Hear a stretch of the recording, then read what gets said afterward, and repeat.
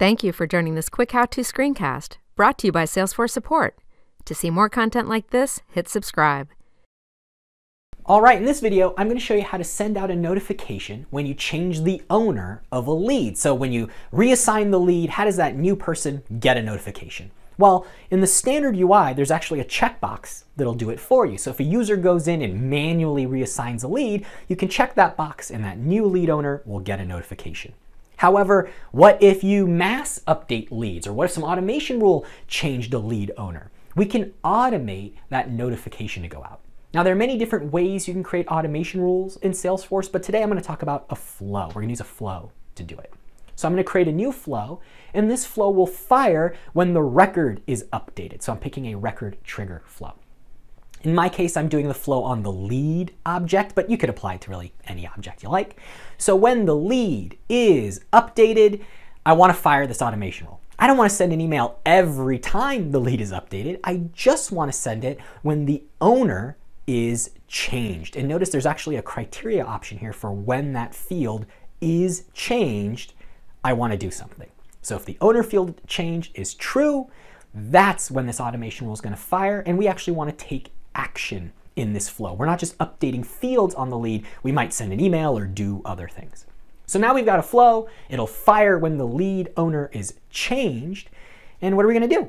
So this is where we pick our action and we're going to pick an email alert. Now I'm going to show you how to create your own email alert in a second, but assuming you'd already created your email template, this is where you select it. Okay? You give the action a name, and then you pick the record you want this email template to be associated to. So essentially the lead record that fired this automation rule. And that's what you see me doing here. I'm actually finding the record that this automation rule is firing on, and I'm picking that record's ID.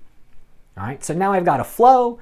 This flow fires when I want it to fire. It sends the notification. It could do more things, but that's all it is for this, this video. And I'm gonna hit save. Save your flow, give it a name, and then don't forget to activate your flow. It won't actually fire until it's turned on. All right, so the email alert piece, how did that part work? How do you actually create your own email alert? Well, um, just create an email template. So go in and create a standard email template. Give it whatever name you want. Make sure that it's associated with the object that you care about. So in my case, it's leads again. So I'm gonna have to pick the lead object. Give it a subject. Uh, really put it in a folder that's publicly accessible. So just make sure it's in a folder that's not private to you uh, to make sure you can find it for your automation rules. Give it a subject. And then really, if you wanted to, you could go into the uh, new email builder and make it really fancy. You could add images and headers and background colors. You could do really anything you want. But in my case, I'm just gonna add a little bit of text because it doesn't matter. So I'm gonna add a rich text field and I'm just gonna add a little snippet for my email template. Again, you could make this as, as rich as you like. Then once your email template is saved, you go into setup and you actually create an email alert. What the email alert does is it lets you take your email template that you created and actually use them in your automation rules. So I'm gonna give my alert a name. Again, I pick the object this alert is on, and now I pick the email template.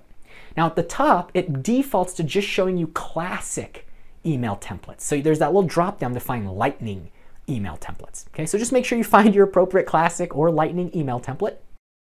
And then you select who you're sending the email to. So the email alert actually has the recipient information in it.